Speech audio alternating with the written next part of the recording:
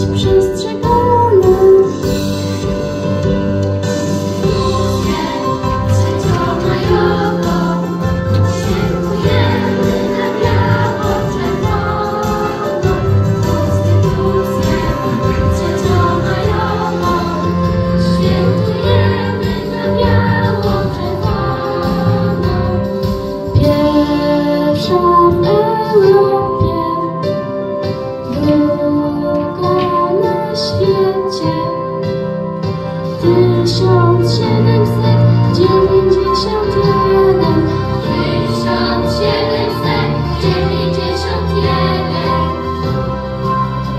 Świętujemy Konstytucję.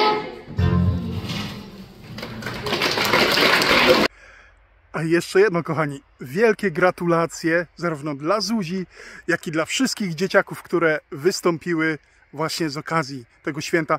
No i gratulacje dla całej szkoły.